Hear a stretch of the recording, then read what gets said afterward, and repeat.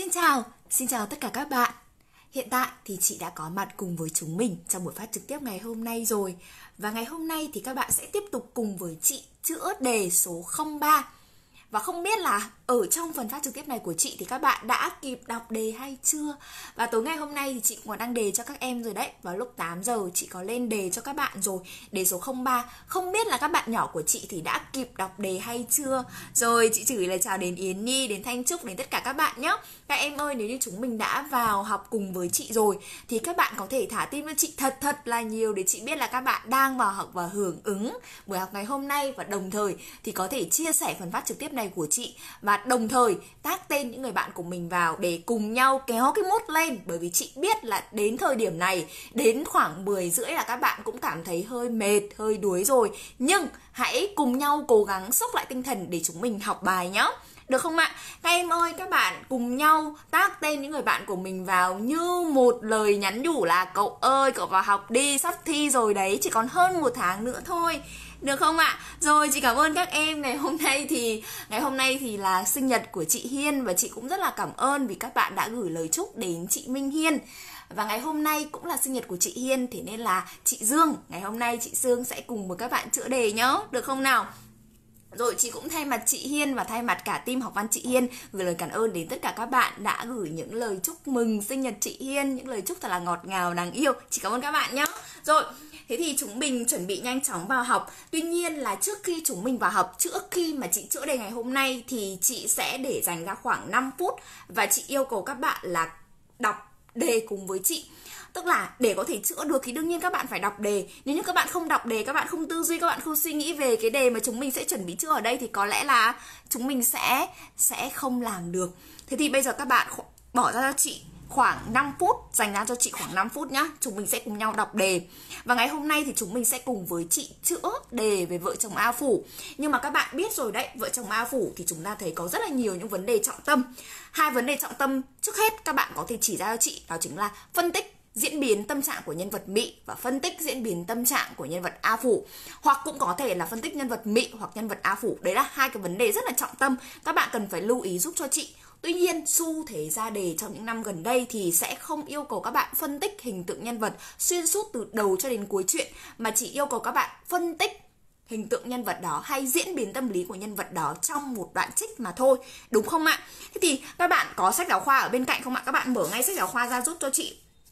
Thì chúng mình sẽ có thể xác định được những vấn đề trọng tâm, những đoạn trích trọng tâm và các bạn đối chiếu giúp cho chị. Từ những vấn đề trọng tâm chúng mình xác định được thì đoạn trích mà chị cho trong đề ngày hôm nay, đề số 03 chị em chúng mình chữa với nhau thì đó chính là đoạn trích yêu cầu chúng mình à, phân tích về cái gì này. Và trong đó các bạn cần phải nhớ những cái phần kiến thức nền ra làm sao. Rồi phương pháp cần phải huy động như thế nào để có thể tổng hợp tất cả những cái phần nội dung kiến thức phương pháp chúng ta đã được học để chúng ta viết thành cái bài hoàn chỉnh.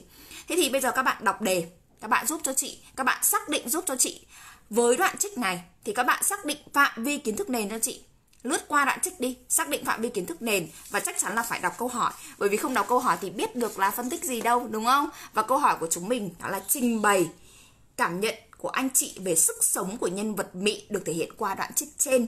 Từ đó, nhận xét về tình cảm của nhà văn dành cho con người lao động Tây Bắc. Và đây chính là một đề bài cũng rất là quen thuộc thôi, không có gì khó khăn với các em cả, đúng không? Nhưng trước khi mà chúng mình phân tích thì các bạn chú ý vào đề cho chị nhé. Yêu cầu đầu tiên chúng mình cần phải làm sáng tỏ đó chính là sức sống của nhân vật mị trong đoạn trích trên. Và cái đoạn trích trên này xác định cho chị phạm vi kiến thức nền nó thuộc đêm tình, mùa xuân hay đêm đông cắt dây chó cứu hoa phủ.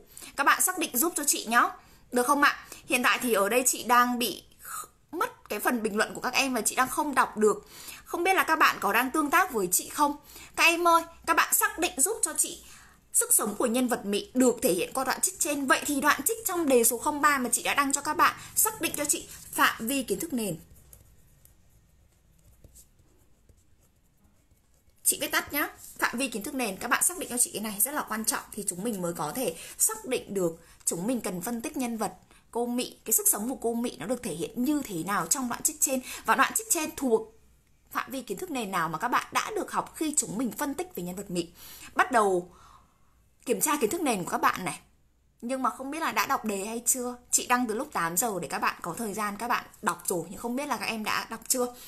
Nếu như chưa đọc thì nhanh chóng quay trở lại đọc giúp chị, Nhá. Rồi từ đó nhận xét tình cảm của nhà văn dành cho con người lao động Tây Bắc.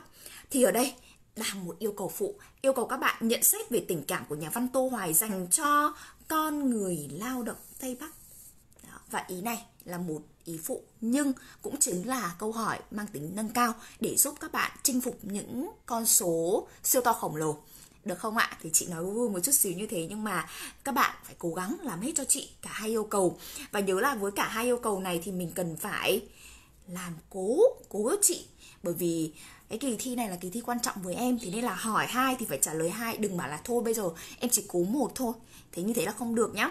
Thì bây giờ chị em chúng mình quay trở lại với phạm vi kiến thức nền mà các bạn cần phải xác định được để chúng mình phân tích trong đề này. Thì các bạn có thể đọc cho chị, được không ạ? Đọc đề cho chị, đọc cái đoạn trích đó, phân tích đoạn trích, đúng không? Phân tích sức sống của nhân vật Mỹ trong cái đoạn trích trên. Thì phải biết được cái đoạn trích trên nói về cái gì, được chưa bối cảnh nảy sinh cái đoạn trích trên là sao? Nào, bây giờ bắt đầu đọc nhá. Ngày tết, mị cũng uống rượu. Mị lén lấy, hũ rượu uống ực ực từng bát. Rồi say, mị lịm mặt nhìn người ngồi nhảy đồng, người hát, nhưng lòng mị đang sống về ngày trước. Tai vang vẳng nghe tiếng sáo gọi bạn đầu làng. Ngày trước, mị thổi sáo giỏi. Mùa xuân này, Mị uống rượu bên bếp và thổi sáo. Mị uốn chiếc lá trên môi, thổi lá cũng hay như thổi sáo. Có biết bao nhiêu người mê ngày đêm thổi sáo theo Mị. Các em ơi, từ khóa đã được thể hiện rất là rõ. Đó chính là gì ạ? Ngày Tết. Đó, rồi chúng ta thấy mùa xuân này. Thế thì chỉ dựa vào cái đoạn này thôi là các bạn cũng có thể biết được đoạn trích này đang đề cập với chúng mình về hình ảnh nhân vật Mỹ qua đêm tình mùa xuân, đúng không? Rồi, ôi, dễ ơi là dễ. Được chưa ạ? Đêm tình mùa xuân. Vậy thì trong đêm tình mùa xuân, sức sống tiềm tàng của nhân vật Mỹ được thể hiện như thế nào qua đoạn trích? Các bạn cần phải làm sáng rõ cho chị. Vậy thì bây giờ chúng mình cùng đọc nhé. Thì chúng mình có thể Hiên huy động lại cho chị cái phần kiến thức nền các bạn đã học về nhân vật Mỹ trong đêm tình mùa xuân. Thì chúng ta thấy, đối với mùa xuân ở Hồng Ngài, thì cái mùa xuân này đã được nhà văn Tô Hoài khắc họa và miêu tả như thế nào? Nhớ lại cho chị này, bắt đầu chị bắt đầu đưa ra những câu hỏi để chúng mình cùng nhau tư duy về ngữ liệu, để chúng mình khôi phục lại kiến thức nền. Đó, vừa chữa đề, vừa học lại kiến thức nền cùng với chị luôn. Ok không? Nhá. Đêm tình mùa xuân. Vậy thì đêm tình mùa xuân và mùa xuân ở hồng ngài thì có gì đặc biệt? Và để rồi, những tác động nào của mùa xuân đã khiến cho nhân vật mỹ của chúng ta thay đổi? Bắt đầu thấy nhân tố đầu tiên, yếu tố đầu tiên xuất hiện đến nhân vật Mỹ và chú ý cho chị chỉ trong đoạn trích này thôi, đúng không ạ? Trong đoạn trích này thì các bạn đọc và chỉ ra giúp cho chị đâu là tác nhân tác động trực tiếp đến tâm trạng của của nhân vật mị để cho cái sự hồi sinh trong cô mị sống dậy bởi vì trước đó nhiều năm nhiều năm làm con ngựa cho nhà thông lý bá cha dường như Mỹ đã quên mất bản thân mình, bị câm lặng, bị lầm lũi như con con con rùa nuôi trong xó cửa, đúng không? Và để rồi mùa xuân lại đến. Vậy thì những cái tác nhân ảnh hưởng đến bị các bạn đọc trong đoạn trích các bạn sẽ thấy để khôi phục kiến thức nền này. Như chị luôn nói với các bạn đấy, học văn thì phải đọc được ngữ liệu. Chúng ta phải đọc được văn bản. Và khi đọc văn bản thì các bạn hãy có một cái phần tư duy để chúng mình kết nối với phần kiến thức nền các bạn đã được học ở trên lớp mà thầy cô đã dạy các em nhá. Được không bạn? Thầy cô rồi các bạn đi học thêm, rồi các bạn đọc sách, các bạn tham khảo. Các bạn hãy liên kết chúng lại với nhau để chúng mình có thể làm được.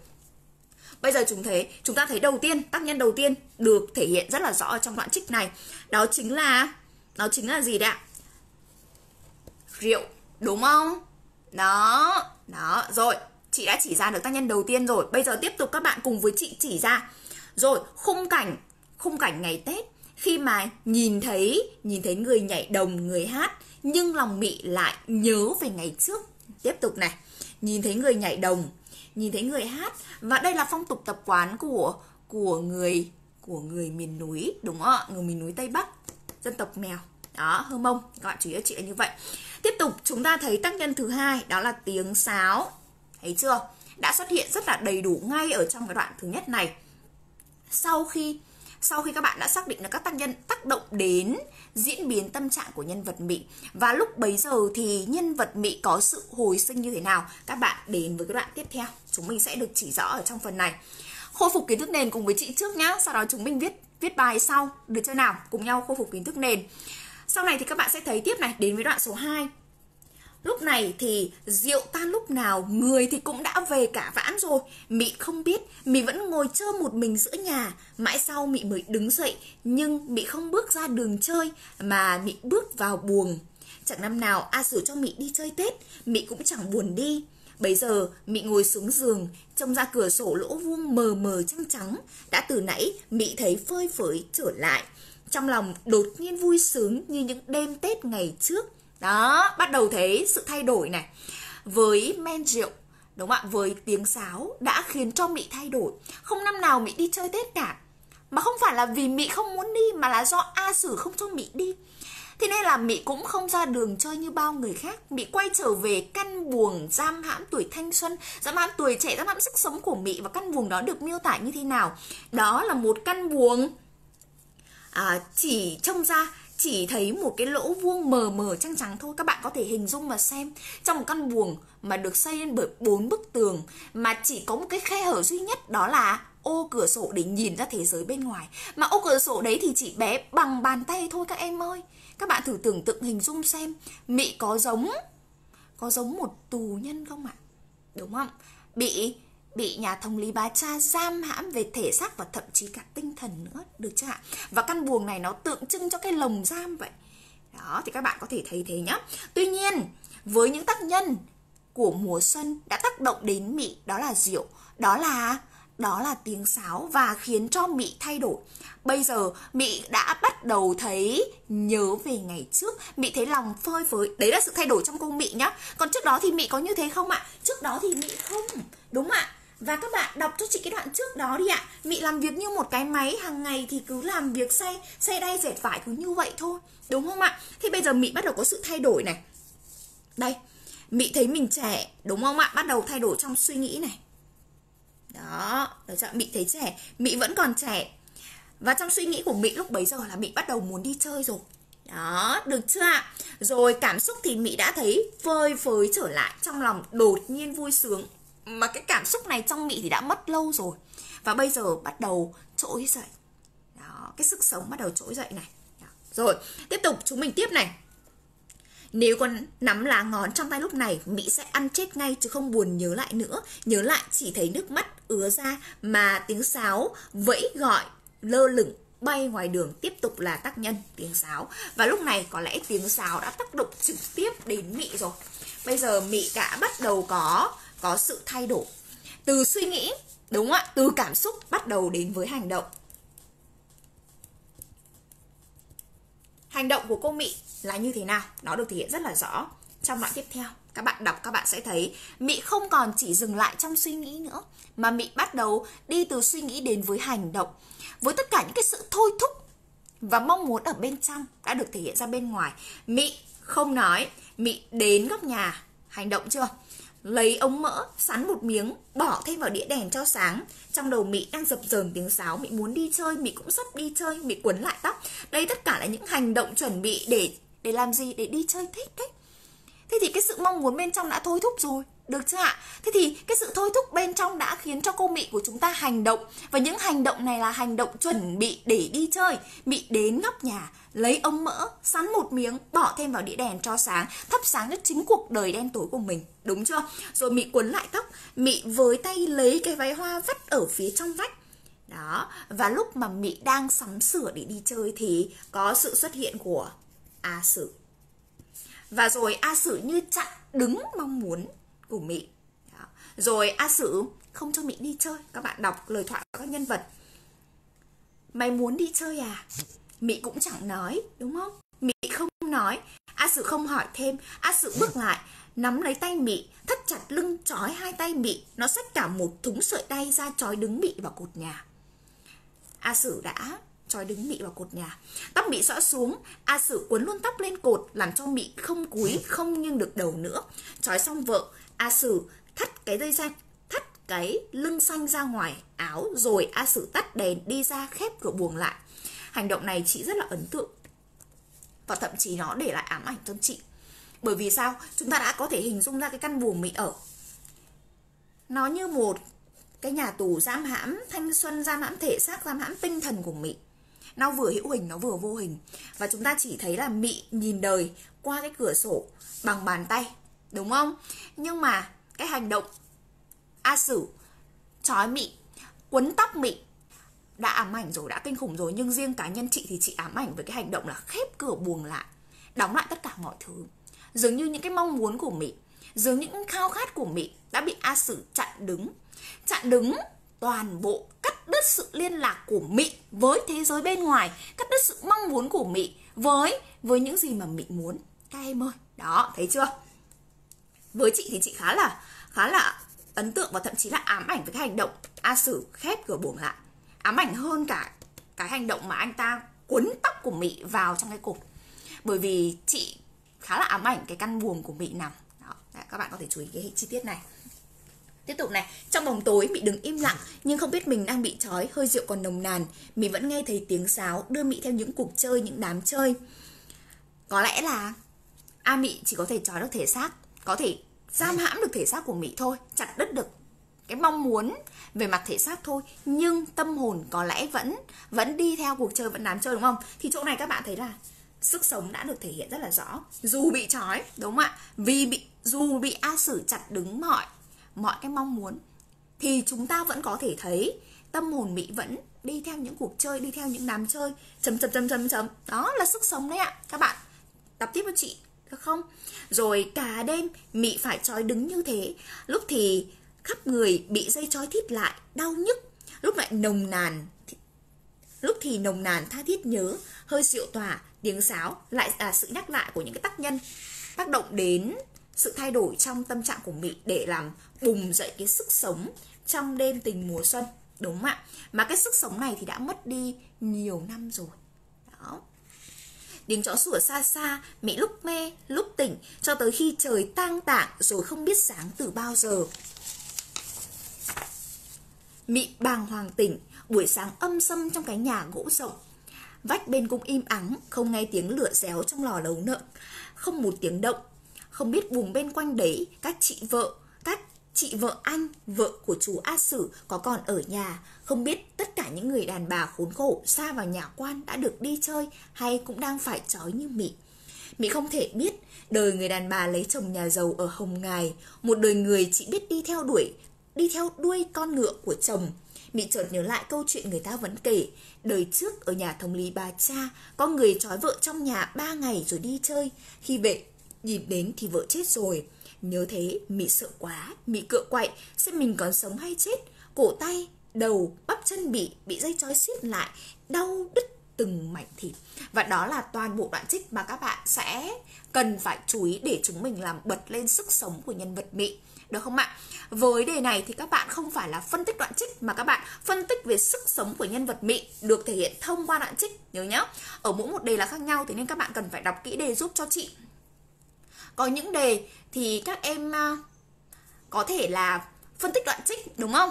Đó, xong làm thể hiện làm nổi bật một cái gì đó. Tuy nhiên có những đề Ví dụ như cái đề mà chị đang chữa cùng với các bạn ở đây này Thì các bạn là phân tích sức sống của nhân vật mị Thì nên khi các bạn làm đề thi Các bạn nhớ chị là đọc kỹ đề nhá. Được chưa? Đọc kỹ đề. Được chưa ạ?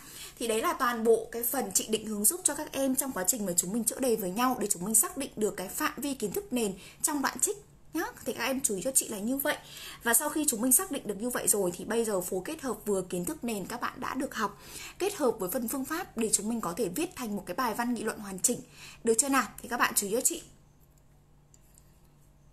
Bây giờ, các bạn có thể cùng với chị tham khảo cái phần viết mẫu ở dưới đây.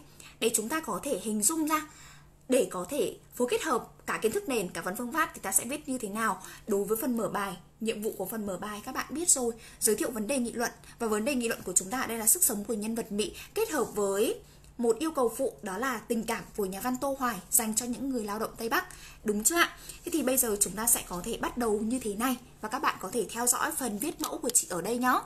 Rồi, lịch sử văn học thế giới, lịch sử văn học Việt Nam đã từng ghi nhận nhiều nhà văn lớn mới cầm bút đã nhầm lẫn, nhầm đường vì không phát hiện ra đúng sở trường của ngòi bút mình. Ban Giác có một thời là một người không viết bi kịch tồi trước khi trở thành nhà tiểu thuyết hiện thực vĩ đại.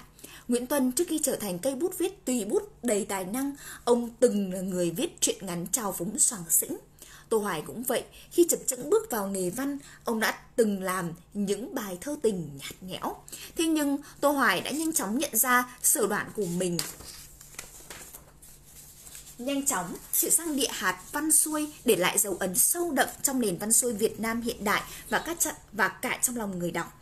Một trong số những chuyện ngắn xuất sắc của Tô Hoài khiến người độc giả nhớ mãi, vợ chồng A Phủ đã để lại những cảm xúc khó quên vì hình ảnh nhân vật Mỹ trong đêm tình mùa xuân được thể hiện qua đoạn trích.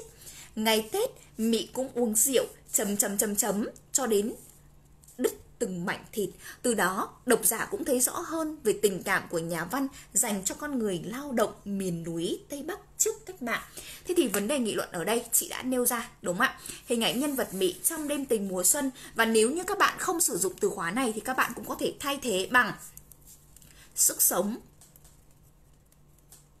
tiềm tàng của nhân vật Mỹ.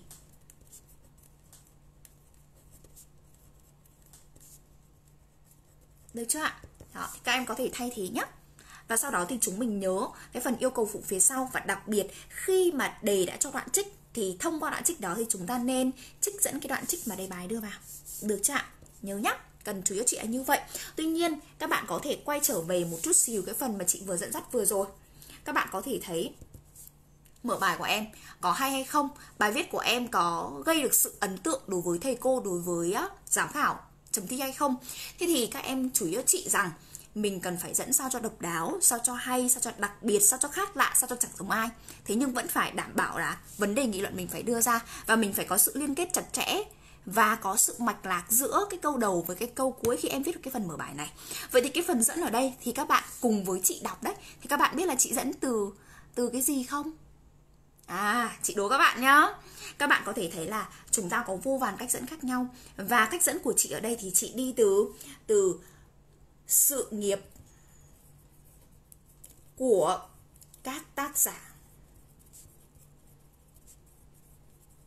Được không ạ? Chị đã mở rộng ra. Chị không chỉ đi từ thông tin của Tô Hoài nữa, mà chị đi mở rộng ra từ sự nghiệp sáng tác của các tác giả, chị đã nhắc đến ban sắc chị nhắc đến nguyễn tuân và cuối cùng từ đó ta dẫn đến tô hoài. Và dường như là đối với mỗi một nhà văn hay nhà thơ, có lẽ ngày đầu tiên họ cầm bút, họ cũng chưa thể nào mà biết được mình viết cái thể loại này có hay hay không. Đúng không? Ai cũng sẽ có sự nhầm lẫn và nhầm đường trong cái sự nghiệp của mình cả. Chỉ quan trọng là chúng ta nhận ra để chúng ta chọn ra cái địa hạt phù hợp với mình để rồi gây tiếng vang và gây ấn tượng trong lòng độc giả. Và không phải đối với nhà văn, đối với tất cả chúng ta ai cũng như vậy. Thì các bạn có thể sử dụng cách dẫn này nhé để chúng ta có thể đưa vào trong bài viết của mình. Và không chỉ là áp dụng với vợ chồng a phủ, các bạn có thể áp dụng với tất cả các tác phẩm khác nhé các bạn có thể sử dụng cách này, được không ạ? Thì các bạn lưu ý chị là như vậy nhé thì đây thì đây chỉ là cách dẫn. Các bạn có thể chú ý chị cách dẫn này, rất là độc, rất là lạ và các bạn có thể tham khảo. Ngoài ra thì các bạn cũng có thể sử dụng các cách dẫn quen thuộc khác nhưng mà vẫn đảm bảo được cái sự chân thành, rồi sự mềm mại trong chính lời văn của em. Ví dụ như là đi từ đề tài, đi từ những nhận định hay về tác giả hoặc tác phẩm, hoặc thậm chí các bạn có thể đi từ con người, cuộc đời của riêng nhà văn Tô Hoài thôi cũng được. Ví dụ như chị khi nhắc đến Tô Hoài thì chị rất là ấn tượng bởi vì Tô Hoài làm sinh ra trong một gia đình nghèo khó. Ông chỉ học hết bậc tiểu học thôi. Thì nhưng mà tài năng, văn chương, phải nói là đỉnh của đỉnh, đúng không? Đọc văn tô hoài rất là hay. Thế nên có lẽ là với những cái ấn tượng đó, các bạn cũng có thể sử dụng làm chất dẫn cho chính phần mở bài của mình. Sau khi các bạn đã hoàn thành xong phần mở bài, thì chúng mình sẽ đến với phần thân bài. Trong phần thân bài, các bạn cần phải làm sáng tỏ cho chị hai vấn đề. Vấn đề thứ nhất, đó là sức sống của nhân vật mỹ trong đoạn trích. Và trong đoạn trích đó, ta xác định được phạm vi kiến thức nền đó là đêm tình mùa xuân, đúng không ạ? Trước tiên, các bạn cần phải chú ý chị, trong thân bài em cần làm sáng tỏ hai vấn đề. Thứ nhất là sức sống của những nhân vật Mỹ trong trong đêm tình mùa xuân, được chưa ạ? Và nhớ trong đêm tình mùa xuân này thì không phải là tất cả những trong sách giáo khoa mà chúng ta sẽ bắt đầu từ đoạn trích đó là Mỹ, ngày Tết, Mỹ cũng uống rượu, đúng không? Đó, chú ý chị nhé bởi vì chúng ta cần phải dựa vào đoạn trích nữa. Đó. sau đó thì các bạn cần phải làm rõ tình cảm, nhận xét tình cảm của nhà văn Tô Hoài dành cho người lao động Tây Bắc.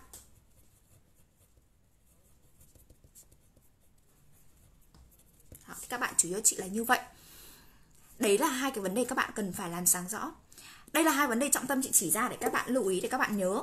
Tuy nhiên tuy nhiên, để có thể làm sáng rõ hai vấn đề này thì các bạn cần phải chú ý chị như sau. Hệ thống luận điểm mình cần phải triển khai trong phần thân bài để làm rõ hai vấn đề này. Thì các bạn cần phải triển khai cho chị ba luận điểm.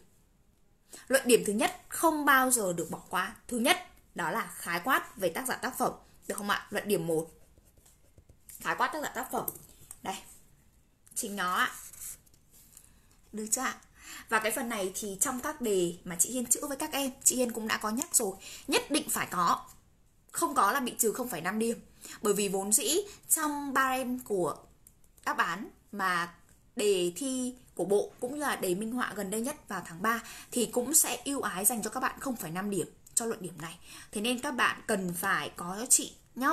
Còn viết như thế nào cho hay thì có lẽ các bạn cũng cần phải lưu ý cho chị, chúng mình. Muốn trước tiên viết, muốn viết hay thì phải biết được trong phần này mình cần phải triển khai cái gì. Khái quát về tác giả, khái quát về tác phẩm. Với tác giả thì các bạn có thể nhớ được những gì liên quan đến nhà văn tô hoài, các bạn có thể đưa vào. Đối với tác phẩm thì đặc biệt phải chỉ ra hoàn cảnh sáng tác của của tác phẩm đó giúp cho chị. Được chưa ạ? Còn các bạn đưa ra như thế nào, chị như thế nào thì chị sẽ có hai cách hai cách cơ bản nhé các bạn có thể áp dụng cách một là các bạn nhớ được gì thì các bạn viết vào. Cách hai là các bạn nhớ cho chị, nhớ chị, tức là mình chủ động mình học những cái thông tin mà các bạn cảm thấy ấn tượng về tác giả đó. Ví dụ như về con người hay là cuộc đời hay là sự nghiệp có gì đặc biệt hay không. Và em tập trung triển khai cho chị và kết hợp với nhớ chị thêm một cái nhận định. Tức là đây là cái cách cơ bản, các bạn có thể học nhé còn đối với mỗi một bài văn thì các bạn cũng có thể triển khai theo các cách khác nhau, tùy thuộc vào cảm hứng sáng tạo của các bạn lúc đó. Thế thì chị chưa đọc cho các bạn nghe cái đoạn mẫu này vội. Chị chỉ ra cho các bạn cái cách để các bạn có thể viết luận điểm 1 Thế thì với cái phần này, như chị nói rồi, Cách một là nhớ cái gì thì viết cái đó. Bởi vì trong phòng thi thì thực sự không có sự lựa chọn, Đúng không?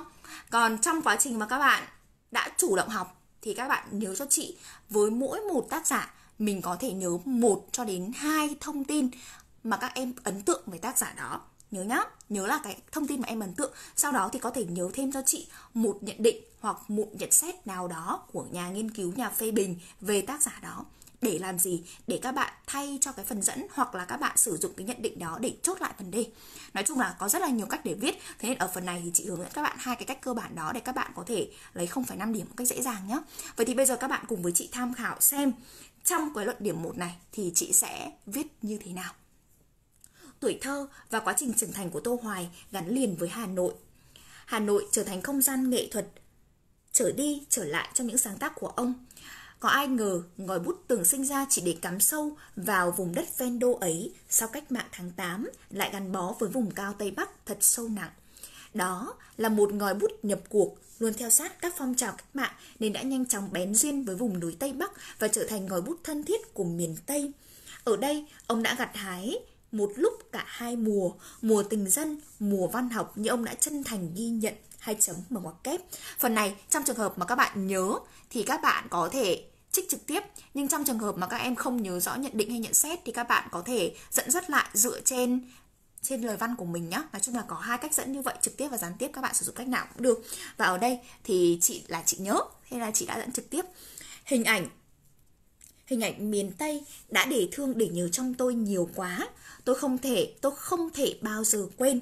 Vâng ông không thể nào quên được hai tiếng trèo lú trèo lú, tức là trở lại trở lại cùng với đôi tay vẫy lúc vợ chồng a phủ tiến ông ra khỏi dốc tà quà lúc vợ chồng lý nủ lý đủ chu tiện ông dưới chân núi cao phạ. Hai tiếng trèo lú trèo lú đã theo ông về tận dưới xuôi và thôi thúc ông viết một cái gì đó để để trả món nợ lòng cho những người mà ông thương mến. Sau đây là phần tác giả. Và tiếp đến, chị bắt đầu đến với phần tác phẩm này. Và chuyện Tây Bắc đã ra đời trở thành đỉnh cao của của văn học viết về miền núi. Chuyện ngắn Vợ chồng A Phủ là tác phẩm đặc sắc trong tập truyện này. Đó là kết quả của chuyến đi thực tế trong chiến dịch giải phóng Tây Bắc của nhà văn Tô Hoài cùng với bộ đội.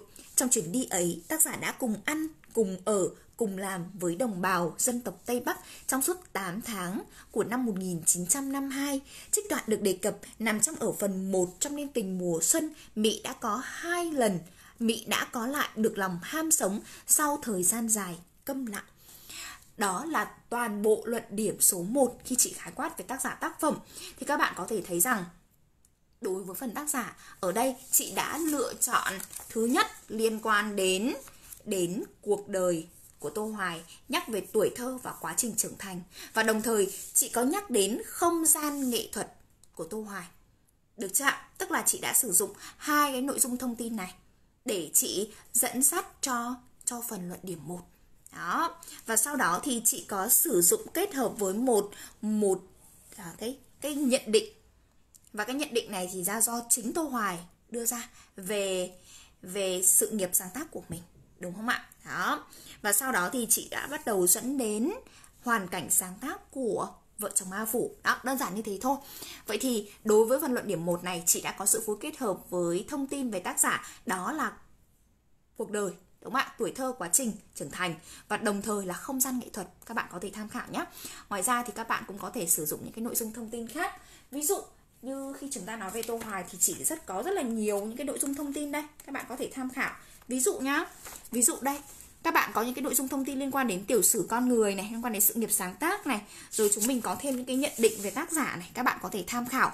Và đây là một trong những tài liệu mà các bạn có thể tham khảo để chúng mình học thêm được những cái nội dung thông tin khác, thay vì chỉ là cuộc đời của Tô Hoài kết hợp với không gian như chị viết ở trong bài, mà các bạn có thể chủ động học thêm và đối với cái phần này, các em có thể tham khảo ở chị khóa học 10 ngày, dạy văn cùng với chị Hiên. Và đối với khóa học này thì các bạn sẽ được tặng bộ ấn phẩm 12 tức là các bạn sẽ có 12 cái bộ tài liệu liên quan đến 12 tác phẩm trọng tâm. Được chạm và trong cái bộ tài liệu đó thì sẽ giúp các bạn xây dựng lại cái phần kiến thức nền và đồng thời thì giúp các bạn có thể hiểu sâu hơn về tác phẩm đó. Tức là các bạn không chỉ dừng lại ở những gì mà chị chữa ở đây đâu, mà chúng mình cần phải chủ động học thêm nhá. Còn nếu như các bạn nào mà muốn tham khảo thêm thì nhớ là đăng ký ngay khóa học chạy văn 10 ngày cùng với chị Hiên để chúng mình cùng bứt tốc giai đoạn cuối nhé được chưa nào? Thì đấy là những gì mà chị muốn chia sẻ với các em một chút xíu, một chút xíu thôi nhá. Còn bây giờ quay trở lại thì sau khi chúng mình đã làm xong luận điểm số 1 khái quát tác giả tác phẩm thì chúng mình đến với luận điểm số 2. Xin lỗi các bạn, đây không phải là luận điểm phân tích đoạn trích mà đây chính là cái luận điểm mà chúng ta làm rõ sức sống của nhân vật Mị qua đoạn trích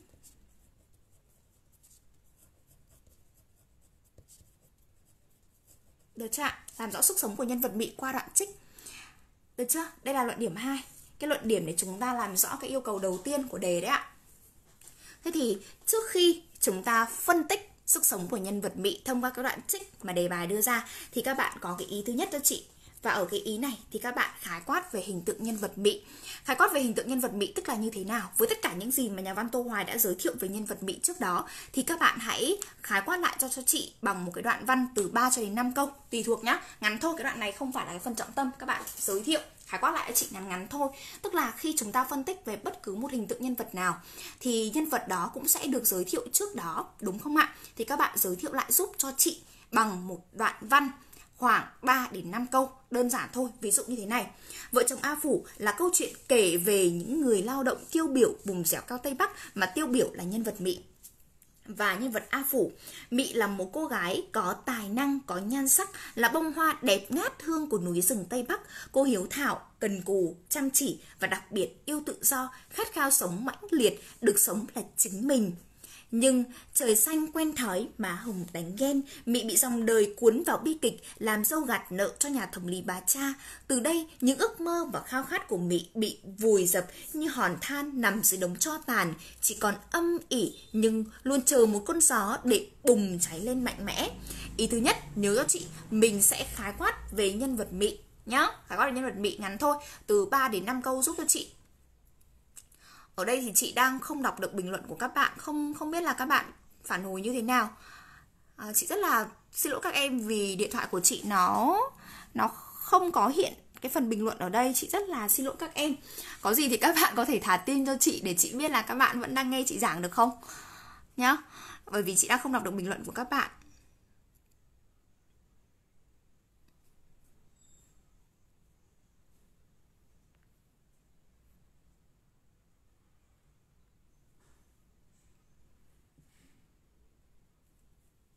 Rồi ok chị cảm ơn các bạn. Chị đã thấy uh, tín hiệu tích cực từ phía các em. Rất rất cảm ơn các bạn. Thế thì bây giờ quay trở lại cái phần này Thì các bạn giới thiệu cho chị khái quát về nhân vật Mị cho chị. Cái phần này thì đơn giản rồi đúng không? Chúng ta học mãi về nhân vật Mỹ rồi. Là một cô gái mèo. Đúng không ạ? Một cô gái hơm mông rất là xinh đẹp, tài năng. Thì các bạn có thể khái quát cho chị một vài những cái nội dung thông tin liên quan đến nhân vật như vậy.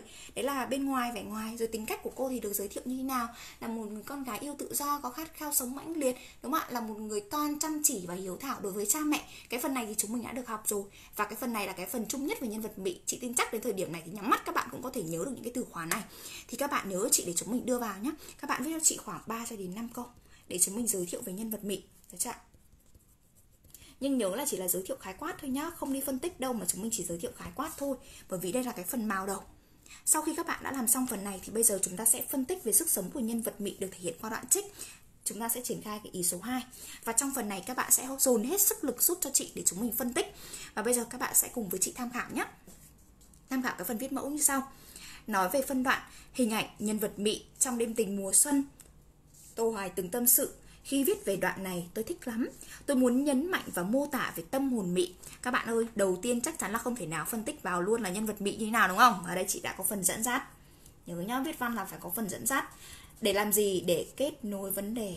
Để cho cái đoạn văn của chúng ta mạch lạc, logic từ kiến thức nền, nhưng mà để có thể viết thành một đoạn văn thì các bạn cần phải đảm bảo cho chị là như vậy. Các bạn cần phải viết để có sự kết nối, cần phải có sự mạch lạc trong chính phần viết của mình. Thì ở đây chị đã sử dụng chính tâm sự của nhà văn tô hoài để làm chất dẫn. Được chưa ạ? Tôi muốn nhấn mạnh và mô tả tâm hồn mị Cô gái vì nợ cha mẹ bị bắt về trình ma nhà bà cha, bị đẩy đọa cả thể xác lẫn tân hồn. Giờ đây, trong đêm tình mùa xuân, nghe tiếng sáo từ xa vọng lại, trong khi trời dạo rực và niềm vui vẻ tràn khắp bản làng dưới tác động của rượu, Mỹ thấy lòng tha thiết bồi hồi, sống về ngày trước. Bắt đầu phân tích đến cái tác động đầu tiên đến với nhân vật Mỹ trong mùa xuân, đó chính là rượu. Được không ạ? Quả thực, bởi là niềm say mê ấy, Tô Hoài đã gây ấn tượng với bạn đọc, nói về Mỹ trong đêm tình mùa xuân với tác động của ngoại cảnh trực tiếp ảnh hưởng tới người con gái Tây Bắc này là mùa xuân, là men rượu, là tiếng sáo.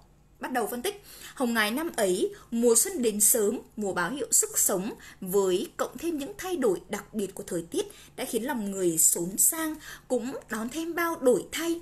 Không khí mùa xuân rộn rã khắp bản làng Không phải ngẫu nhiên mà Tô Hoài miêu tả bức tranh hồng ngài vào một mùa xuân Một vẻ đẹp có sự hòa quyện của âm thanh, màu sắc, khung cảnh con người Từ màu vàng ửng của cỏ xanh, màu đỏ tím của hoa thúc viện nở trên núi Tất cả đều hài hòa với màu sắc của những chiếc váy hoa phơi trên mỏm đá đầu làng. Tiếng trẻ con nô đùa, trai gái rủ nhau đi chơi mùa xuân, góp phần tạo không khí rộn rã để đánh thức cảm xúc sôi nổi trong tâm hồn tuổi trẻ. Và các em ơi, phần này thì chúng ta đang nói đến những cái tác nhân đúng không ạ? Tác động đến mị. Và có lẽ chúng ta có thể nói đến không khí mùa xuân ở Hồng Ngài. Và cái phần này thì không nằm trong đoạn trích đâu Đoạn trích thì sẽ bắt đầu từ cái phần mà Mị uống rượu ấy Mị uống ực từng bát rồi mình ngồi lặng im trong nhà rồi Mị nghe tiếng sáo Tuy nhiên các bạn cũng có thể khái quát cho chị một chút xíu về không khí mùa xuân ở Hồng Ngài Tưng bừng như thế nào, rộn rã làm sao nhá Cái phần này các bạn có thể khái quát thêm trong không khí của mùa xuân tưng bừng rộn rã, tình xuân tha thiết nồng nàn ấy, Mỹ cũng chọn uống rượu, bắt đầu phân tích chi tiết. Dù rằng uống rượu không phải đặc quyền của người đàn bà hay con gái, lại không phải dành cho người đàn bà có thân phận trâu ngựa như Mị. Bởi thế, chuyện uống rượu với Mị có thể xem là một hành động phản kháng, trỗi dậy khi Mị đã làm những việc vốn không được phép làm các em ơi. Rất hay luôn. Các bạn biết rằng ngày Tết thì thì uống rượu như để chào mừng năm mới, như để chào đón năm mới đúng không? Và có lẽ cái điều ấy là điều tất nghệ sĩ ngẫu. Thế nhưng mà đối với cung mị của chúng ta này, cô ý làm dâu gạt nợ cho nhà thống lý bá cha, rồi cô ý sống một cuộc đời câm lặng như một con rùa lầm mũi trong xó cửa. Thế mà cô ấy cũng dám uống rượu vào ngày Tết mà có phải hành động uống rượu này dường như là một hành động phản kháng không? Là bởi vì sao ạ? Bởi vì cô ấy đã làm những cái việc mà tưởng chừng như nhưng không ai cho phép cô ấy làm. Đúng không ạ, uống rượu. Và bình thường cô ấy chỉ như một cái cỗ máy thôi. Cô ấy cứ làm việc từ mùa này qua mùa khác, từ ngày này qua ngày khác, từ tháng này qua ngày khác. Cô ấy câm nín thầm lặng như vậy thôi. Thế mà cô ấy cũng đã dám uống rượu rồi đấy. Và đây có phải là một cái tín hiệu mừng cho thấy cái sức sống không? Và chị đã phân tích ra ở đây, đúng không ạ? Và đặc biệt là cách mà cô ấy uống này, phân tích cách Mị uống rượu. Cách Mị uống rượu là uống ực từng bát, rất quyết liệt. Nó vừa thể hiện sự phản kháng, vừa là sự nổi loạn từ bên trong con người Mị. Người ta thường tìm đến rượu cho những mục đích quên đi. Ví dụ, Chí Phèo, con quỷ dữ của làng Vũ Đại, khi bị thì nợ cự tuyệt tình yêu đã tìm đến rượu như một thói quen cố hữu. Mục đích là để quên đi những đắng cay chăng? Theo các em, có phải là để quên không? Còn với Mị, Mị uống rượu có thể là để quên đi ký ức đang trỗi dậy, để có thể làm quên đi hiện tại đau khổ bất hạnh. Nhưng hơi rượu không đủ sức làm cho Mị quên đi mà chỉ đưa Mị vào trạng thái chậm chờn, nửa mê, nửa tỉnh để lòng Mị khi sống về quá khứ ngày trước, quá khứ của tự do, hạnh phúc, tình yêu và quan trọng nhất là lòng ham sống của một con người cực kỳ đáng sống. Và đây chính là cái phần đầu tiên khi chị phân tích về cái tác nhân đầu tiên tác động đến đến cô Mỹ trong đoạn trích này, đó là rượu. Phân tích kỹ, rượu, uống rượu là một hành động thể hiện cho sự phản kháng và đồng thời phân tích kỹ cách uống rượu, nhớ nhá, uống ực từng bát để thể hiện sự dứt khoát, quyết liệt của Mỹ. Đặc biệt là có sự liên hệ, mở rộng so sánh với cách uống rượu của nhân vật trí phèo. Vậy chị hỏi các bạn trí phèo uống rượu có phải để quên không? Và chúng ta tìm đến rượu khi nào? Với những câu hỏi này, chị tin chắc các bạn đã đã có những cái phần liên hệ mở rộng khá là hay ho. Chị nhớ trong thơ của lý bạch có một câu, nâng chén tiêu sầu sầu càng sâu. Các bạn biết câu đấy không? Các bạn cũng có thể liên hệ trong phần này nếu như các bạn có thể nhá. Rồi à, các bạn cũng có thể liên hệ với tự tình của Hồ Xuân Hương, chén rượu hương đưa say lại tỉnh vầng trăng bóng quế khuyết chưa tròn đấy ạ. Say lại tỉnh, một cái vầng tròn, một cái vòng lập lại tuần hoàn, đúng không? Và phải chăng cô mị của chúng ta ở đây cũng như thế? Chúng ta có thể chú ý chị những cái chi tiết như thế này để chúng mình có thể liên hệ khác đi. Khác đi một chút xíu so với chị ở đây. Chị liên hệ với trí phèo. Thì các bạn liên hệ với hồ xuân hương, các bạn liên hệ với lý bạch trong thơ ca cổ, được không ạ? Có rất là nhiều những cái chi tiết mà các bạn có thể liên hệ. Các bạn lưu ý nhé tiếp tục này. Thế rồi, khi nhận ra hiện thực của mình mỹ bước vào căn phòng u tối như một thói quen cố hữu. Căn phòng tân hôn ấy từng được miêu tả dưới ngòi bút của Tô Hoài, kín mít, chỉ có đúng một ô cửa lỗ vuông bằng bàn tay, trông ra ngoài chỉ thấy trắng, không biết là sương hay nắng. Có nghĩa là từ căn phòng ấy, ngồi trông ra, Mỹ bây giờ còn có khái Mỹ chẳng còn có khái niệm về thời gian hay không gian nữa. Mỹ sống lầm lũi như thế rất nhiều năm, rất nhiều năm tháng. Thế rồi với tác nhân của men rượu, đặc biệt là tiếng sáo bắt đầu dẫn đến gì đây? Tiếng sáo này là cái tác nhân quan trọng để cho cái sự sống trong Mỹ được bật dậy, đúng không ạ? Âm thanh của tình yêu, âm thanh của bao ký ức đã giúp mị dường như có một nguồn cảm xúc dâng lên đột ngột trong lòng. Đã từ nãy, mị thấy phơi phới trở lại. Trong lòng đột nhiên vui sướng như những đêm tết ngày trước, mị trẻ lắm, mị vẫn còn trẻ. Bắt đầu sức sống của mị bắt đầu trỗi dậy. Phân tích kỹ chỗ này giúp cho chị. Bởi vì cái phần này, trước đó thì mị không như vậy thì các bạn có thể hình dung lại giúp cho chị cái quá trình cái diễn biến tâm trạng của nhân vật bị từ khi chưa lấy chồng cho khi về làm con dâu gặt nợ nhà thống lý bà cha, thì các bạn biết rằng là đối với Mỹ, trước đó là một cô gái người mèo xinh đẹp, đúng không? Khao khát tự do, khao khát yêu đương. Đó, chúng ta biết rồi. Thế nhưng mà vì cái món nợ truyền kiếp của bố mẹ Mỹ Mỹ đã trở thành con dâu gạt nợ cho nhà thống lý bà cha. Và giai đoạn đầu tiên khi mới về làm dâu cho nhà thống lý thì mỹ đã nghĩ đến cái chết. Và chính cái việc mỹ nghĩ đến cái chết và tìm đến với cái lá ngón để tự tử ấy, đó là một cái hành động phản kháng. Và phản kháng như vậy để thấy cái sự khao khát tự do mãnh liệt trong mỹ, dù là tìm đến cái chết, nhưng cũng lại để thể hiện sức sống nhá. Sau đó, mỹ vì thương cha, thế nên mỹ đã không không nghĩ đến cái chết nữa. Và để rồi suốt một cái năm tháng dài đằng đẵng như thế này, mị đã sống câm lặng, âm thầm lầm lũi như con rùa nuôi trong xó cửa. Tưởng chừng như mị đã chết, được chưa ạ? Và đến đây, đến cái mùa xuân này này, với những cái tác động của không khí, của rượu, của tiếng sáo này, bắt đầu, mị bắt đầu sống dậy. Và tại sao nói mị sống dậy? Bởi vì trước đó, cái tình yêu, cái khao khát, cái tự do trong trong cô mị, một người con gái xinh đẹp, tài năng, hiếu thảo bắt đầu trỗi dậy vào cái đêm này. Tại sao nói là trỗi dậy? Tại sao là cái sức sống mãnh liệt là bởi vì trước đó có, trước đó cũng có. Thế nhưng mà sau một khoảng thời gian dài làm con dâu cho nhà thống lý thì đã trở thành một một cái cỗ máy khô cằn bị chai sạn về cảm xúc, đúng không? Chỉ đến đêm tình mùa xuân bắt đầu trỗi dậy thế nên ta mới nói là sức sống trỗi dậy. Thế nên nhớ chị là như vậy nhá. Tại sao lại có sự trỗi dậy? Là bởi vì có một đoạn cô ấy bị lắng xuống. Nhưng mà trước đó thì cô ấy đã từng là một người như thế nào? Thì các bạn sẽ có thể hiểu rất là rõ cái phần này. Được chưa? Bắt đầu chúng mình phân tích tiếp này. Bây giờ chị sẽ cùng với các bạn phân tích về tiếng sáo đã nâng sức bị đi theo những cuộc chơi, những đám chơi. Đây là một trong những cái tác nhân vô cùng vô cùng quan trọng. Đó là âm thanh của tình yêu, là âm thanh của ký ức, là âm thanh của sự tự do, đúng không? Tiếng sáo thực sự có một sức mạnh rất kỳ diệu. Nó đánh thức trong bị về ý thức bản thân, về thực tại cuộc sống chính mình sau cả một quãng thời gian đằng đẵng bị chìm trong ý nghĩ bị là con trâu con ngựa thì đến thời khắc ấy mị nhận ra tuổi trẻ của mị vẫn còn khát vọng và con đang tồn tại trong mị và khi nhận thức về chính bản thân mị có mong muốn được đi chơi ngày Tết như biết bao người đàn bà khác. Đó cũng chính là khi Mỹ nhận ra hoàn cảnh thực tại của chính mình. A Sử với Mỹ không có lòng với nhau mà vẫn phải ở với nhau. Nhận ra điều ấy, hẳn rằng con người ta phải đau đớn lắm, đặc biệt với một cô gái có khát vọng tình yêu lớn lao như Mỹ. Để rồi, những đau khổ dường như rủ nhau kéo về, Mỹ thấy tuyệt vọng khi nhận ra thân phận thực tại của chính mình. Lòng ham sấm trỗi dậy khiến con người ta suy ngẫm muốn chết đi vì nếu sống không có tự do, hạnh phúc thì nên chết đi thì hơn, dám chết khi một lần nữa nhận ra cuộc đời không còn ý nghĩa. Nếu có làm nắng ngón trong tay lúc này, Mỹ sẽ ăn cho chết ngay chứ không còn buồn nhớ lại nữa, nhớ lại chỉ thấy nước mắt ứa ra. Đây là lần thứ hai Mỹ đến nghĩ đến cái chết, lần đầu tiên nghĩ đến cái chết khi mới về nhà chồng. Tiếp theo, sau một khoảng thời gian câm lặng, sức sống trỗi dậy mỹ lại tiếp tục nghĩ đến cái chết. Nghĩ đến cái chết nhưng không phải để chết, mà là để giải phóng, để thể hiện cái sự phản kháng, thể hiện sự khát khao tự do mãnh liệt của cô mỹ nhớ nhá, nghĩ đến cái chết thôi nhưng không phải là chết đâu, mà là thể hiện cái sự tự do khát vọng bên trong. Nó thể hiện cái sự đối nghịch và mâu thuẫn. Các bạn chú ý chị là như vậy.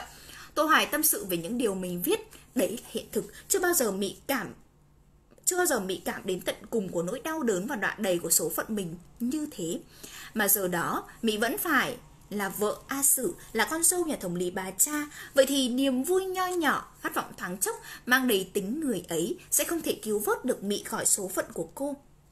Mỹ lại nghĩ đến Nam lá Ngón.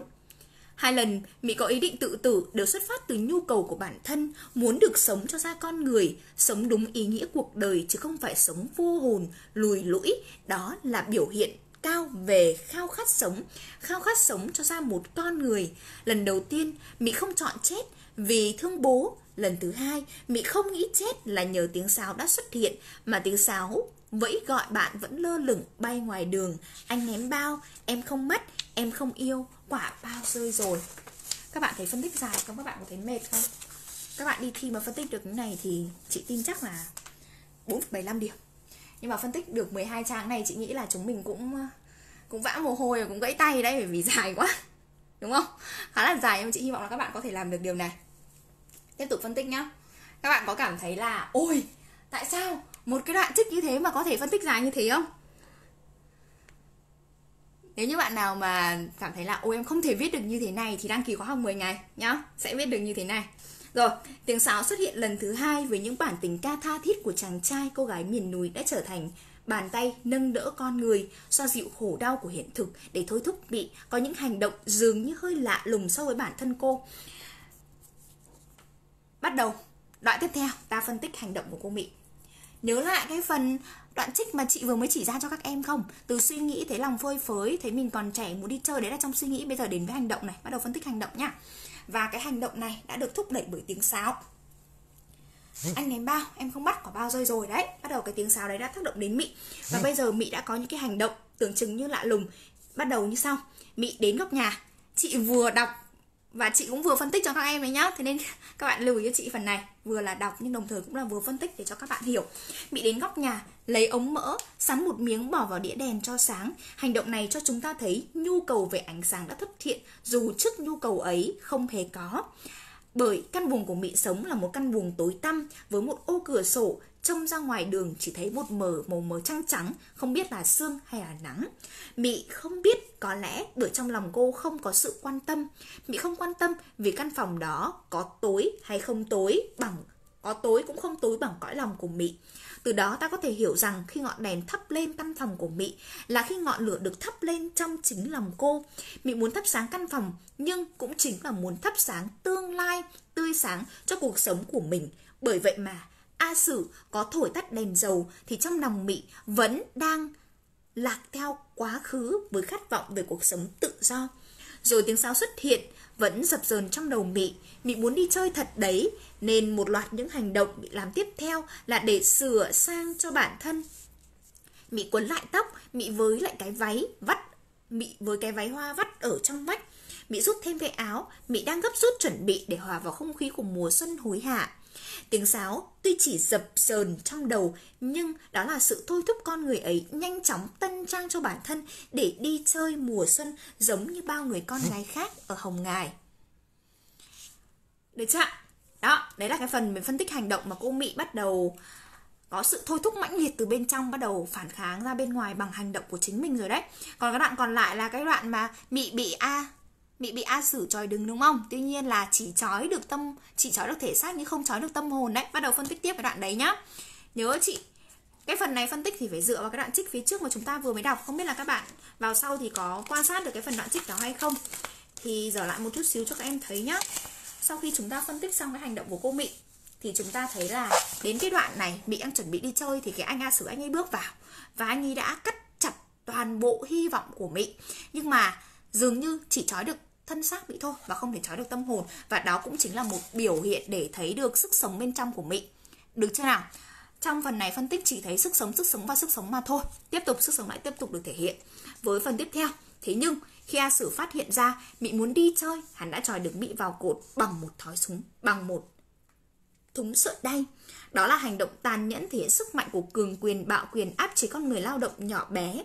Nó thổi tắt ngọn đèn rồi đóng sầm cửa lại. Nó muốn dìm Mị trong bóng tối, dìm đi sự phản kháng của người đàn bà này. Thế nhưng A Sử không bao giờ biết được trong lòng Mị bây giờ đã có một ngọn lửa vừa cháy lên. Dù Mị bị trói trong bóng tối, nhưng cô thấy mình đang không bị trói. Men rượu nồng nàn, tiếng sáo vang lên dường như đang hòa nhập với tâm hồn Mị. Tiếng sáo nâng bước chân Mị theo những cuộc chơi, những đám chơi. Nó dẫn dắt tâm trí Mị đến thẳng những khát khao của tuổi trẻ, khát vọng của những cuộc chơi xuân. Lẽ đương nhiên, nó tạo ra sự thôi thúc mạnh mẽ để Mị vùng bước đi. Đến lúc này, Mị mới nhận ra thực tại của mình. Âm thanh Mị nghe thấy bây giờ lại là tiếng chân ngựa đạp vào vách. Âm thanh số phận Mị nhận ra thân phận trâu ngựa của mình. Các em ơi, tưởng như thoát được, thế nhưng mà thực tại khi mà nghe thấy tiếng chân ngựa đạp vào vách thì Mỹ đã lại quay trở về hiện thực để thấy được cái thực tại của mình, thấy được thân phận của mình, hoàn cảnh của mình. Và dường như lúc này sức sống của Mỹ còn hay không? Chị hỏi các bạn. Đến thời điểm này, khi mà nghe chân ngựa đạp vào vách thì sức sống của Mỹ có còn hay không? Các bạn cho chị biết. Nhưng mà chị tiếc quá là chị đang không đọc được bình luận của các em. rất là xin lỗi các bạn ngày hôm nay vì vì chị đang bị mất cái phần bình luận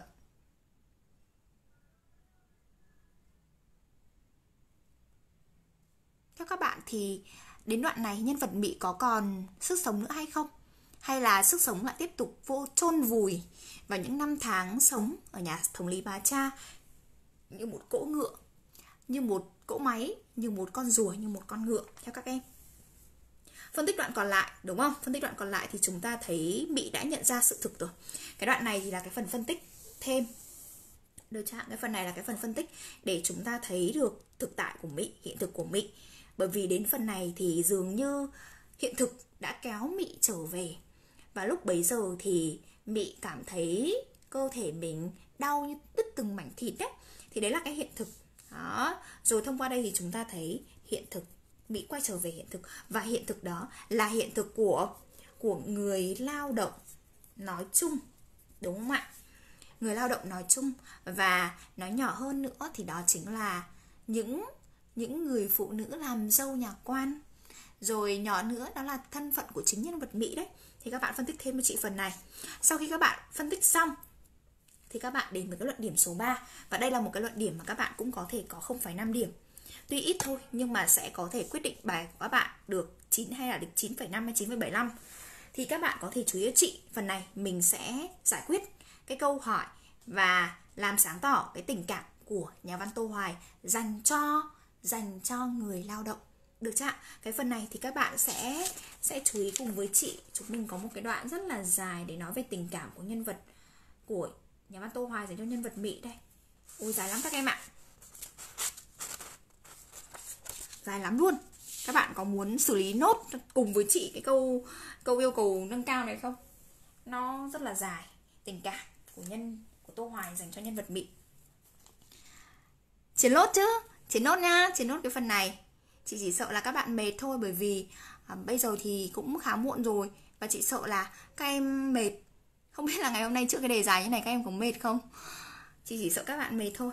Thế thì bây giờ, cái câu yêu cầu nâng cao này thì các bạn chú ý chị thì mình sẽ nhận xét về tình cảm của nhà văn tô hoài dành cho người lao động tây bắc. Tình cảm đó là tình cảm như thế nào? Thế thì cái tình cảm đó như thế nào sẽ được làm sáng tỏ thông qua luận điểm sau? Các bạn chú ý. Nhớ nhá, bắt đầu cùng với chị này. Nhớ này dù được ít điểm thôi, không phải 5 điểm thôi nhưng vẫn phải có, không có là mất tiêu nè không phải 5 điểm rồi đấy. Trong tập tiểu luận, trang giấy trước đèn, nhà văn Nguyễn Minh Châu có bộc bạch về sứ mệnh của người cầm bút. Nhà văn tồn tại ở trên đời có lẽ trước hết vì thế đảm, để đảm việc công việc giống như kẻ nâng sức cho những người cùng đường tuyệt lộ, bị cái ác hoặc số phận đen đủi dồn con người ta đến chân tường. Để bênh vực cho những con người không còn ai bênh vực Tô Hoài có lẽ cùng quan điểm với Nguyễn Minh Châu, thế nên trong tác phẩm Vợ chồng A Phủ của mình, trong truyện ngắn Tô Hoài chỉ hướng đến cái nỗi đau khổ của những con người miền núi vẫn đang hàng ngày tiếp diễn ở nơi đây. Số kiếp nô lệ khiến số kiếp nô lệ khiến họ không thể ngóc đầu lên được cứ suốt kiếp phải làm trâu làm ngựa để phục vụ cường quyền. Và chỉ có cách mạng có thể soi sáng cuộc đời họ mới đưa họ ra khỏi vùng tăm tối. Ông viết bằng ngòi bút đậm tính nhân văn, khai sáng và chân thực những chỗ tuy buồn, tuy tuyệt vọng, thế nhưng tác giả vẫn luôn luôn để lại một tia hy vọng, ánh sáng xuất phát từ chính nội tâm con người. Đó là vẻ đẹp khó có thể nắm bắt được. Điều này thể hiện rõ qua việc nhà văn viết về Mị và A Phủ. Tô Hoài trân trọng Mị. Tình cảm này. Tình cảm của nhà văn Tô Hoài dành cho người lao động này luôn luôn hướng về, hướng ngòi bút của mình về những người lao động miền núi, những con người đang bị áp bức bởi cường quyền và thần quyền. Đầu tiên, khái quát cho chị là như vậy. Ngòi bút của nhà văn tô hoài hướng về những con người nghèo khổ. Và để viết được cái câu đó thì chị đã dẫn từ nhận định của nguyễn minh châu rằng công việc cũng như là trách nhiệm của một người viết văn đó là nâng sức cho những con người cùng đường tuyệt lộ bị đẩy đến chân tường, đúng không? Thế thì nhà văn tô hoài của chúng ta dường như cũng đồng tình với quan điểm đó. Để rồi, trong chính sáng tác của của ông, đặc biệt là với vợ chồng A Phủ mà chúng mình đang phân tích ở đây, nó được thể hiện rất là rõ. Tại sao tại sao Tô Hoài không viết về thống lý Ba Cha?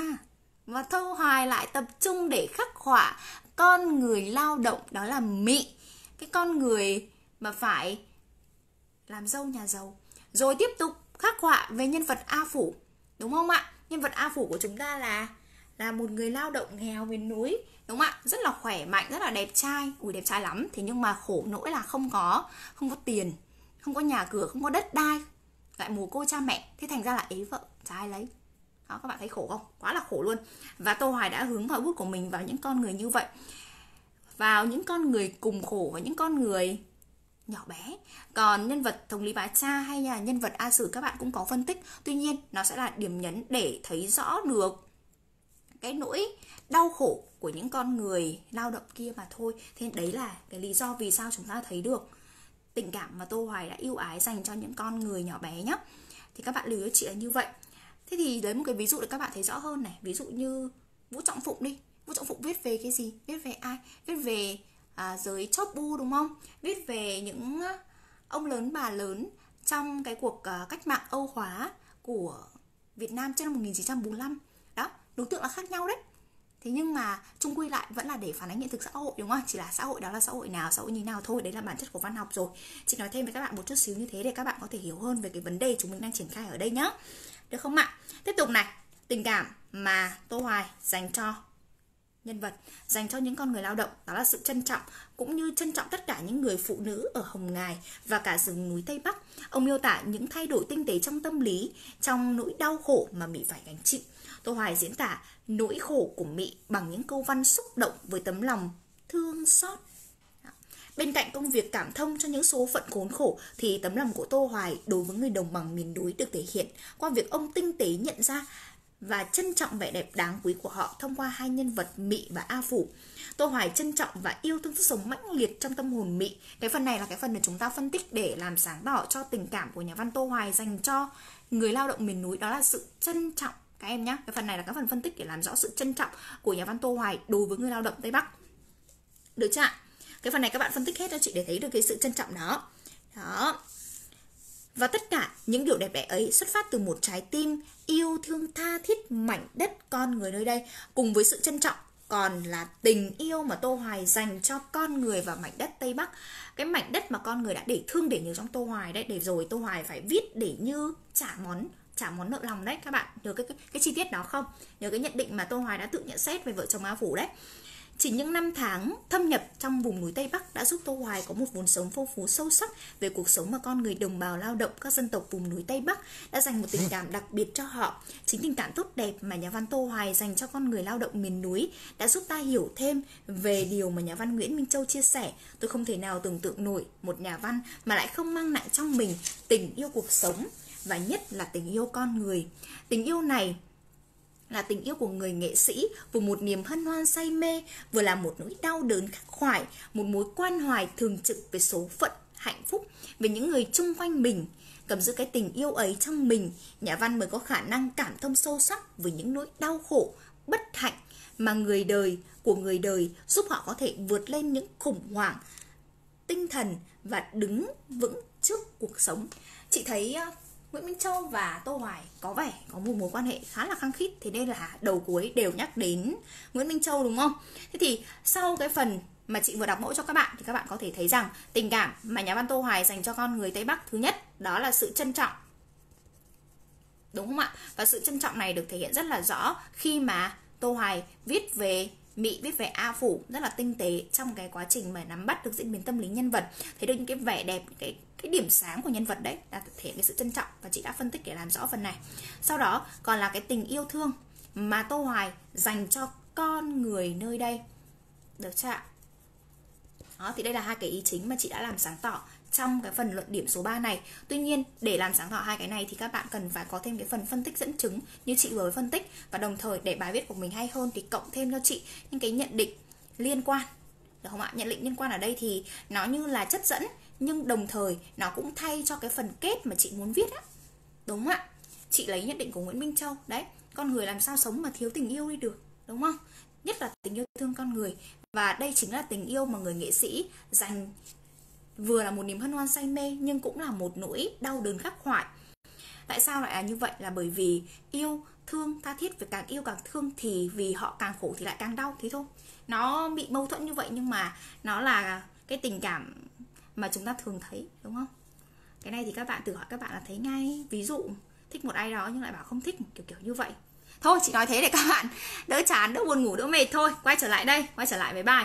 Thì các bạn có thể thấy rằng, đối với bài nghị luận văn học, và đặc biệt là kỳ thi trung học phổ thông quốc gia của bạn đấy, thì nhớ chị mình cần phải triển khai nhớ chị để làm sáng tỏ vấn đề của đề bài. Chúng ta triển khai cho chị. Luận điểm thứ nhất, khái có tác tác phẩm. Luận điểm thứ hai, phân tích theo yêu cầu của đề bài. Và luận điểm thứ ba, phân tích yêu cầu của đề bài. Và cái phân tích này là cái phân tích của yêu cầu phụ nhá. Sau đó cái phần luận điểm 4 này, cái luận điểm này là cái luận điểm các bạn bổ sung thêm giúp cho chị để chúng mình khái quát và đánh giá với đặc sắc nội dung và nghệ thuật của của bài. Và cái luận điểm 4 này thì cũng có nhiều thầy cô nói với các em rằng là chúng mình sẽ viết luôn vào cái phần kết bài. Tức là các bạn đánh giá luôn ở cái phần kết bài đó, đưa xuống phần kết bài. Thế nên với luận điểm số 4 chị lưu ý với các bạn một chút xíu như thế này. Trong trường hợp mà thầy cô hướng dẫn các em ấy ở trên lớp mà bảo là đưa cái luận điểm số 4 khái quát về đặc sắc nghệ thuật cũng như nội dung xuống phần kết bài thì các bạn cứ viết phần kết bài thôi không sao cả còn thầy cô chẳng nói gì thì mình triển khai nguyên thành một cái luận điểm riêng phần thân bài giúp cho chị mình khái quát lại nhá cái phần này thì là mãi rồi quen rồi phần kết bài thì là khẳng định lại vấn đề nghị luận và kết hợp với những cái ấn tượng mà em cảm thấy ấn tượng đối với đoạn trích, đối với nhân vật, đối với tác giả để làm gì? Để tạo ra cái dư âm cho cho bài viết của mình thôi. Cái phần này thì các bạn cũng viết mãi rồi, các bạn lưu ý với chị là như vậy. Vậy là trong buổi tối ngày hôm nay, các bạn đã cùng với chị chữa xong đề số 03 đoạn trích phân tích sức sống của nhân vật mị thông qua thông qua gì? Thông qua đêm tình mùa xuân đúng không? Nhớ chưa? Vừa là kiến thức nền, vừa là bài nghị luận văn học thì các bạn cũng đã cùng với chị chữa rồi. Thì ngày hôm nay có mệt không? Có mệt nhiều không? Có cảm thấy là áp lực không? Nhưng mà đừng áp lực nhé, bởi vì chúng ta hãy cùng nhau chiến đấu. Bởi vì chiến dịch của chúng mình còn tận mấy hôm nữa cơ mà. Cố gắng là trong cái khoảng thời gian này các bạn sẽ cùng với học văn chị Hiên chinh chiến được kha khá nhé và nếu như mà còn cảm thấy lo lắng hoặc run sợ nữa thì nhanh chóng đăng ký khóa học 10 ngày chạy văn cùng với chị Hiên để để được đồng hành cùng với cùng với chị Hiên, cùng với team học văn chị Hiên. Thực ra là, thứ nhất là để cùng với các bạn củng cố lại toàn bộ phần kiến thức nền mà các bạn đã học rồi, nhưng mà thêm một lần nữa củng cố lại tốt tát lại. Và thêm vào đó nữa thì cũng là những người bạn đồng hành để các bạn đỡ áp lực hơn. Và chị hy vọng bản thân chị cũng sẽ góp một phần nho nhỏ vào trong cái quá trình và trong cái hành trình cuối cùng này của các em nhé nhá, được không ạ? Nhớ này, đăng ký khóa 10 ngày của chị Hiên nếu như các bạn còn đang cảm thấy bản thân mình cần thực sự phải học nhá. Và chị mong muốn là các em có thể cùng với chị đồng hành, bởi vì chị rất là mong muốn được đồng hành cùng với à, 2K5 và đặc biệt là các lớp 12 lớp nào cũng vậy. Rất là thích, bởi vì các bạn trẻ, các bạn khỏe, các bạn có nhiều đam mê, có nhiều nhiệt huyết, rồi các bạn trẻ lòng, trẻ dạ nhiều thứ hay ho lắm, nên chị muốn chị muốn đồng hành cùng với các bạn, được không? Rất là mong muốn được gặp lại các em trong khóa học 10 ngày cùng với chị Hiên, cùng với team chị Hiên nhá. Và cái phần này thì các bạn hãy ờ, chủ động test lại kiến thức của mình và hỏi bản thân mình xem là mình thực sự có cần học lại không. Còn nếu như mà cần học lại thì cứ học lại thôi. Còn nếu như mà tự học lại mà cảm thấy là thôi, học đến giờ này em buồn ngủ lắm rồi, em cần phải có người học cùng thì đăng ký cùng với chị Hiên nhá cùng với team học văn chị Hiên để chúng mình cùng chiến đấu nhé còn bây giờ thì khá muộn rồi. Chúc các bạn ngủ ngon và ngày hôm nay mong rằng đã giúp các bạn làm rõ được một vài vấn đề trong quá trình mà chúng mình ôn tập cùng với nhau. Bye bye.